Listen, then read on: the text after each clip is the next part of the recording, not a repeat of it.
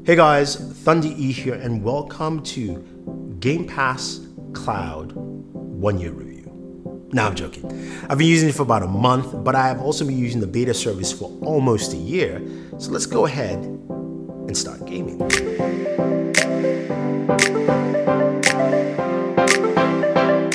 Okay, okay, okay, okay. So Xbox Game Pass Cloud originally was called Project xCloud and then xCloud, which is the beta service. Uh, came out around October, November last year, and I was able to get my hands on that early and experience the service. Now, watching it grow, it started off with maybe around uh, 30 games at launch, I believe, uh, with the beta service. And then it moved by January, it moved to maybe about 70 games and over 100. And it was just more games to play and access. But it's now part of uh, Game Pass. And Game Pass has a lot of games. So, what is Game Pass? You probably are asking if you don't know. Game Pass is my, Microsoft's Netflix for gaming. It's a streaming uh, game service in terms of streaming and downloads where you can play as many games as you want. So the way Game Pass Ultimate works, they're different. This Game Pass and Game Pass Ultimate. Ultimate gives you access to play on three platforms, which is why Microsoft talks about the gamer being in the center and everything around them. So your Xbox being your Xbox One or your Xbox Series S or Series X is your console. You can also play uh, games through Game Pass on your PC, and you can stream on your mobile device. On both PC and console, you can download those games, and from the app, you can download and install on any console or PC that you have. I really like that feature. Then on the mobile side of things, you can stream your games. What's cool about Game Pass is that you can play the same games on your PC or console and continue that on your mobile device. So Forza Horizon is one I do play quite a bit play it on my on my TV, enjoy it there, and I can play it on my mobile device and enjoy it right there as well. So I can decide to display my mobile device while somebody else watches the TV, or I can go out into the real world, uh, maybe go uh, to a coffee shop or on the road, wherever that I am, I can play mobile. So whether over LTE or 5G. I did do a 5G video. Guys, go check that out to see full 5G gameplay, but it worked really well over 5G and it was good to see um, that connection and connectivity, fast speeds made everything run really, really smooth. Now, looking at the service itself, the menu system is very simple. You have the ability to go to any of the tabs you want, PC, of course, uh, Xbox, and um, uh, mobile. And on mobile, you can start streaming games. And one of the games I was happy to see is Doom Eternal. Doom Eternal just hit Game Pass and is available for mobile streaming. That is absolutely awesome. This is a game that I play on PC uh, all the time. I had it on Steam, being able to just log on and play here. Sadly, of course, my saves didn't transfer from Steam or Bethesda Net, but being able to play on my mobile device and then try and also continue on my PC or my console is truly amazing. Now, some of the things about Game Pass here, uh, just talk about it in terms of uh, functionality, you do need a controller. Uh, there are some games that use touch inputs, but honestly, to game any console or PC game, you must use a controller. It's only the sensible thing to do. And there are multiple controllers to use. Uh, what Microsoft has kind of hinted is that if it's a Bluetooth controller, it will work with it, and that's fine. Bluetooth controllers like the uh, SteelSeries Stratus Duo work well, the PlayStation DualShock controller will also work with it. The trusted Xbox One controller will work with that, or your Series X controller if you have a Series X. But the controllers I do like to use are the ones that have direct USB Type-C input, like the GameSir X2, which has a really nice, unique, slick design, slides out, you put your uh, your device in there or the Razer Kishi, which is my favorite controller for this. It really does a fantastic job right here.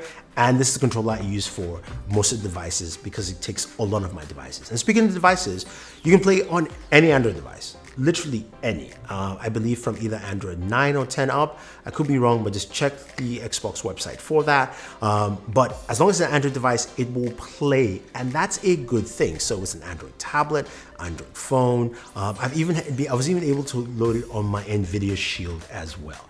That's something that's pretty cool. So it can go anywhere. Sadly, not on iOS devices. A little brouhaha because Apple doesn't want streaming game service on their devices yet, so we'll see how that clears up. But the ability to play on multiple devices gives a strong credence. Now, what are the things that I like and I don't like? I love the fact that I can jump in and play those games. I love the fact that there are a lot of library of games to play. Um, you know, like I just mentioned, Bethesda's games are coming there. Fallout 76 is on there. You also have Doom Eternal. There'll be more games uh, jumping on. Um, I do like the fact that Microsoft has not gone for the crazy uh, 4K. They said it's about 720p when they mentioned it at E3 last year, and I think it's about 720p, and it's fine. It runs well, and I like that aspect. As long as you have a good connection, that's the biggest thing.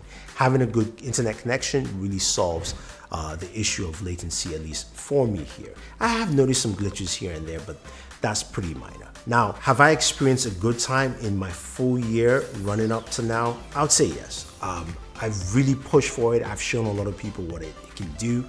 I like it. I've actually advanced in some of my games on my mobile device, especially Gears 5. Gears 5 I started on my my Xbox, then I just kind of stopped and once it was available on xCloud and now on Game Pass, uh, I just kept on playing and playing and playing and playing. And I like that I could actually do that on my phone. I didn't have to sit down and wait in front of my TV. Now, what are the things that they can fix? Because it is not perfect. It's a great service, but it's not perfect.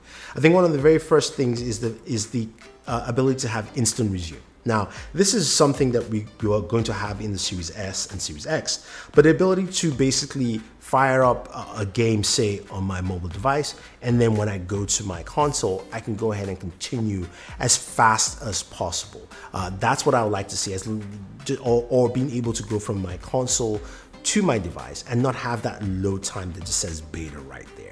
Especially when you're moving from console to the mobile device, there's just this long load period that uh, this kind of annoys me, and I think hopefully that gets fixed. Now, I also want to see more indie games being pushed to um, you know, Xbox Game Pass Cloud, uh, just because I think it's a good way to add more games like that and some touch input. Yes, just so you can uh, help people who don't have controller access right there. I think that comes into play. Not every game is going to support that, and I get it, but some of that.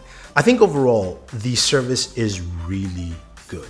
I think the last thing that I would like to see added to Game Pass as it moves forward, Game Pass Cloud, is not just being able to stream on my mobile device or my tablet, but also being able to have that ability on Windows as well, uh, especially laptops that are not powerful enough to game on, uh, whether it's an ARM chip laptop like the Surface Pro X or you know even just a, a, basic Intel laptop or even my Samsung TV. Imagine uh, that you can buy a TV in the future. Samsung's a big partner with Microsoft and you've got the Game Pass app right there, right there where it says Xbox. You have the Game Pass app, and you can fire it up by linking your Bluetooth controller or Wi-Fi controller, whatever the case may be, and you can start gaming on your TV. Uh, you don't have to buy an Xbox because yeah, it will do 1080p. If you want to have an Xbox uh, for 4K, 8K gaming, you can buy that. I would like to see it expand more, and I think they're taking that path. So if you've used Game Pass Cloud or Project xCloud, as it was known before, what do you think? Let me know how your experience has been. Mine has been pretty good. It's improved over time, and I'd like to see it improve more. Otherwise, guys, those are my thoughts on uh, Game Pass uh, Cloud, aka Project xCloud, my use case in a year. Yeah, pretty much been a year. If you have any questions or any comments, let me know. Otherwise, guys, don't forget to like, share, subscribe. Uh, and if you want any of those controllers, I will have the links down for you down below, be it this bad boy or this bad boy. Um, this is Thunder E saying thank you very much and always enjoy your entertainment.